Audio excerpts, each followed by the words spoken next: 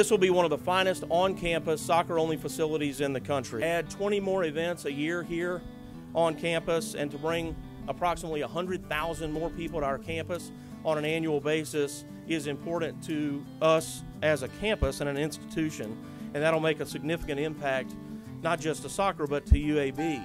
And it's a significant addition to Birmingham's growing sports and entertainment landscape. Regions Field has been transformational. We believe this in the development of our athletic facilities and the new BJCC stadium and arena and whole renovation complex will be very powerful for the city of Birmingham. And we are excited to be an important part of that. We wanted to create opportunities again in the local communities that we operate in. And this fits exactly right in the middle of that purpose. We're really excited about this. We think this is a great renovation. Together with BBVA Compass's investment into this field, with our ownership's investment into this field, we know it's going to be a great venue. I'm looking at Mike Gibb. It's going to be a really good soccer venue.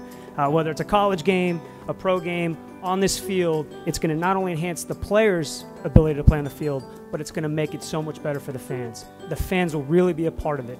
You hear that buzzword all the time soccer specific stadium. That's what we have here. That's what this is going to be.